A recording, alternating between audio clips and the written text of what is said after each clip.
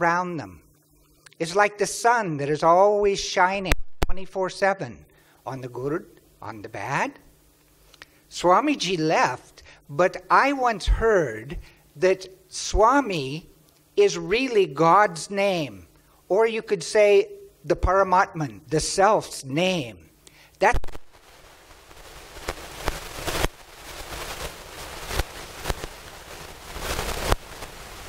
which is independent, which is itself.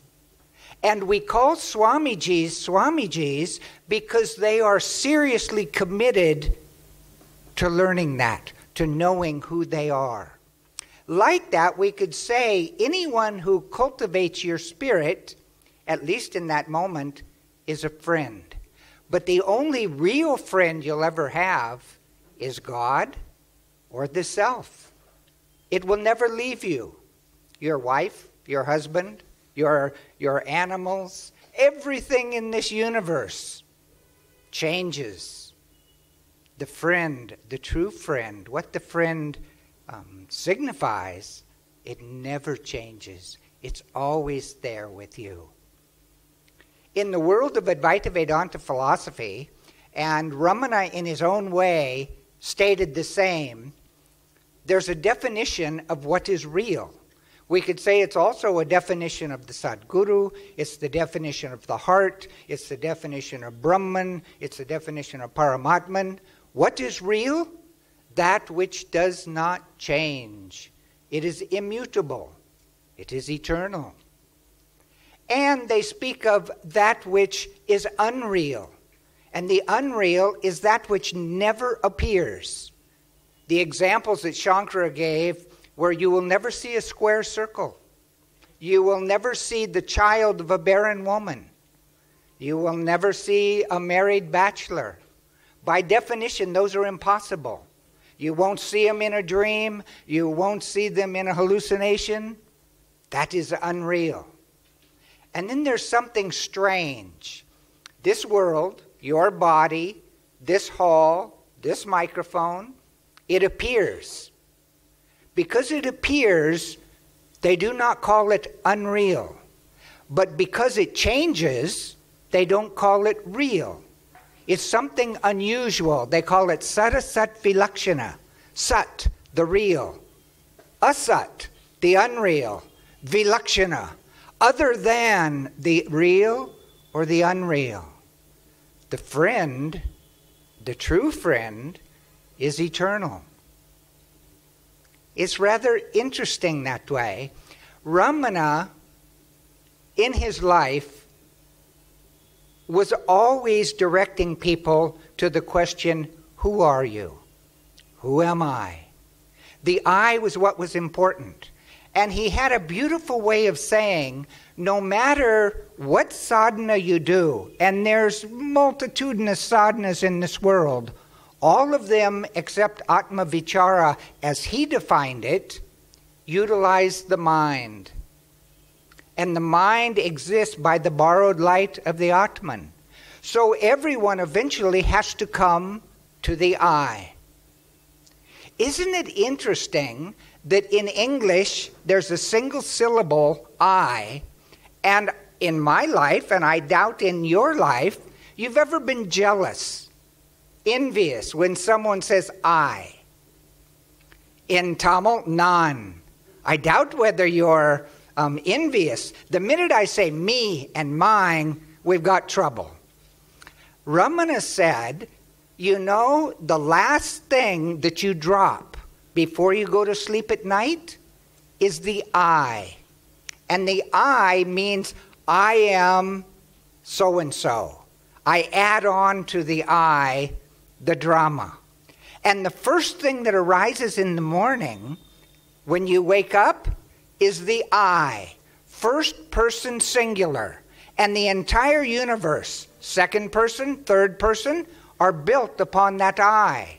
I say, I am going to the talk today. I am hungry. We add to the I. But until the I is there, this universe is not there. Ramana had a wonderful way of pointing human beings, and I assume animals as well, towards seeking that I, experiencing that I. You know, the waking state teaches us a number of very important facts. In the waking state, I am there. You can say the same. In the waking state, you are there. In the waking state, the light of the universe is external to you. The sun illumines the earth. And the other beautiful thing about the waking state is it gives you a paradigm for reality. You may be incorrect about what reality is, but you've got a definition. There is something called reality. Take the dreaming state. I am there. But the dreaming state also teaches me I am the light of the dream universe. And Ramana never tired of saying, you know, when you dream, it's real as long as you're dreaming. It's only when you, quote, wake up that you say, oh, it was a dream. It wasn't real.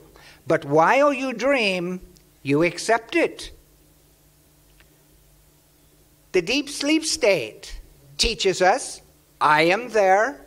No one can say I am not there. But there's no content, which shows you can exist without the universe, without content.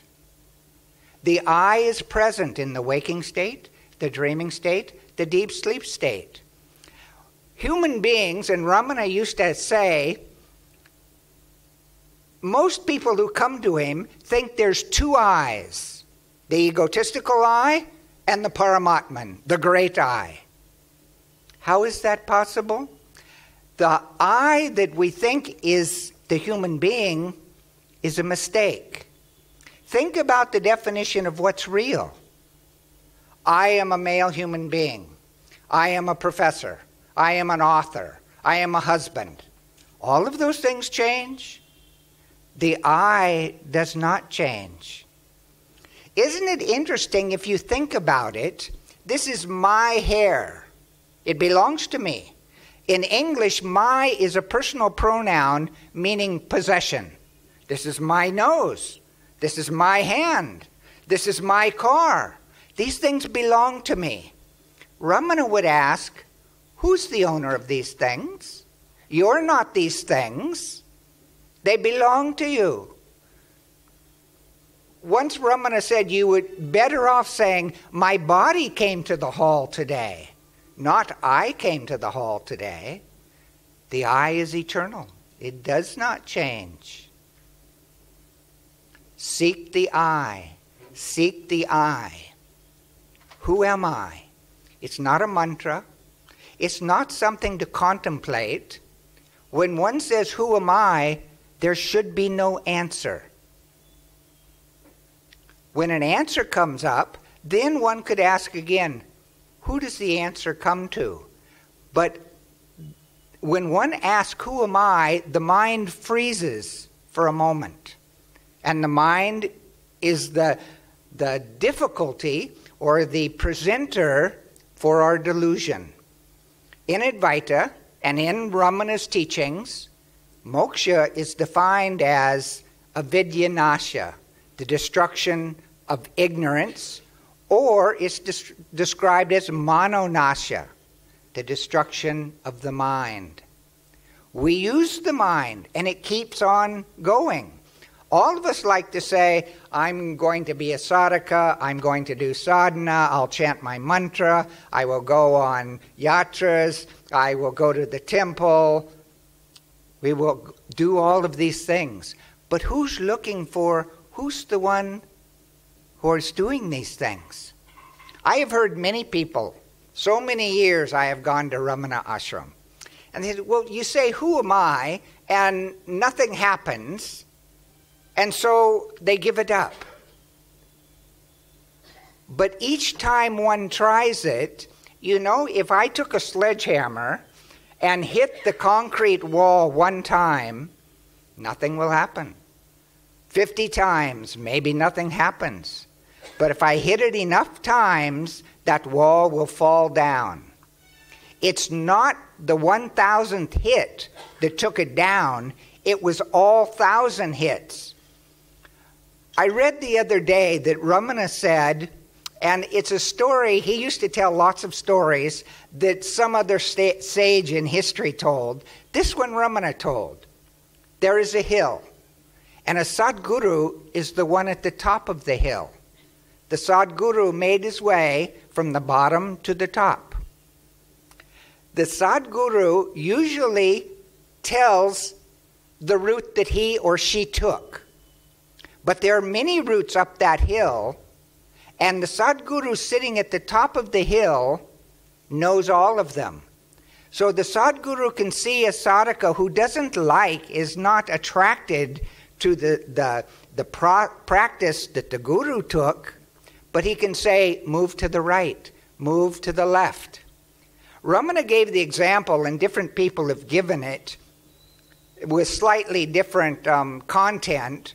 Ramana said there's three types of sadhakas. First type is like gunpowder. The minute they hear, Who am I? or that you are the self, Aham Brahmasmi, moksha. Those are rare people. There were a few around Ramana, but not many. And the second type were like charcoal, with just a little bit of um, inquiry, a little bit of discrimination, a little bit of detachment, moksha. Again, there's not a lot of those. Ramana said for those two types, Atma Vichara is the Upadesha. And then there's a third type. They're like a green tree trunk. And it takes a lot and lot and lot of sadhana to dry that tree trunk out. So Ramana, someone once said to him, You're an Ajativadan personally, with my training in Madras with the Advaitins at the university, I'm very fond of Ajativada. Ajativada means nothing has ever happened. There is no birth. There is no death. Everyone in this hall believes they were born, and I'm assuming you at least assume you will die one day. But think about what is real and what is not real. In your dream, you, you experienced something.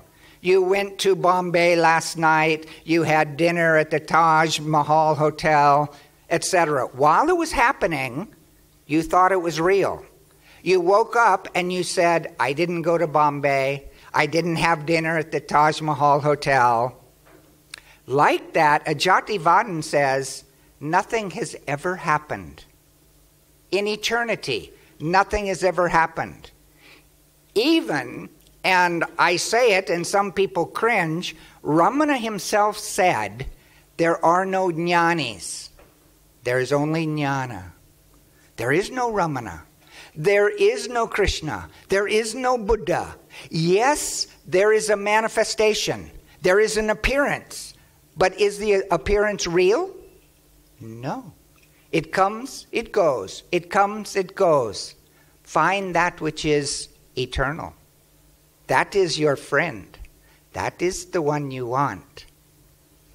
Manifestations we take. We do it every day. We chant the mantra. Oh, look, it's real. There's a male sitting in the front and a female is sitting next to him. It's a, a horrible expression in English. Seeing is believing.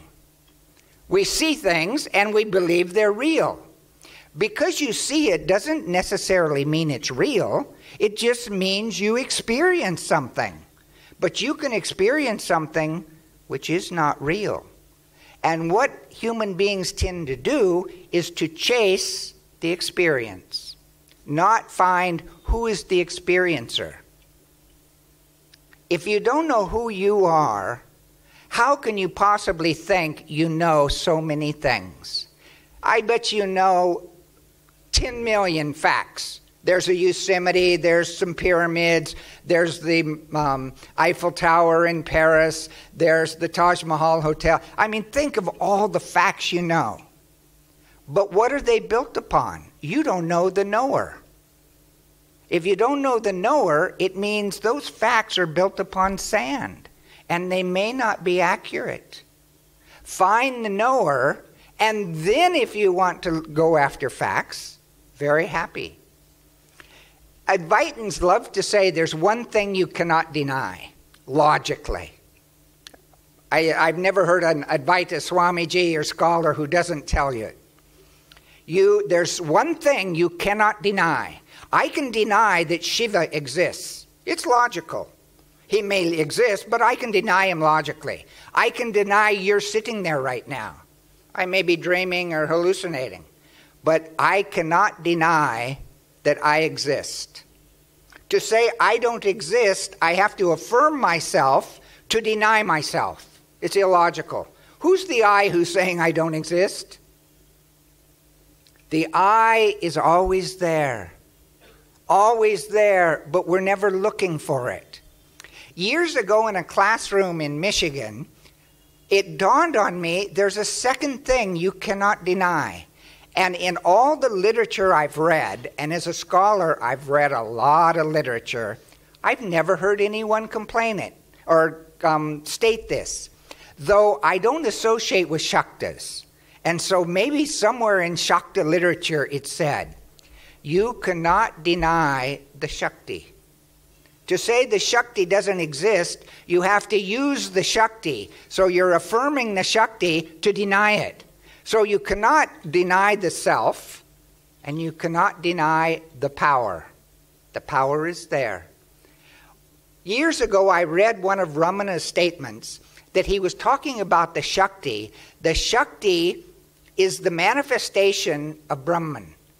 If you think that the lectern is lectern as object, you're mistaken. You're looking through the mind. But lectern as Brahman, as the self, is real. How do you see it? The Shakti. But Ramana said the Shakti never comes in front. It's, I wish I could find that quote because um, it was his words talking about um, the difference between Atman and Shakti, they're the same, but he gave a, a, an interesting comment about the Shakti. But I find it interesting, especially in Tamil Nadu, because people love to say Shiva and Shakti. You get both of them. And some people worship Shakti. But today I was reading a passage, I just opened the book of Ramana, and he said, The Shakti is the self. The self is the Shakti. So if you worship the Shakti, it's still the self. If you worship the self, it's the Shakti. So, um, it's been a long day, and I think I'm going to stop here. Um, thank you for um, inviting me um, to be with friends today. Um, it's a, a, glorious day when uh, you get together with people who are interested or love Ramana Maharshi. So thank you.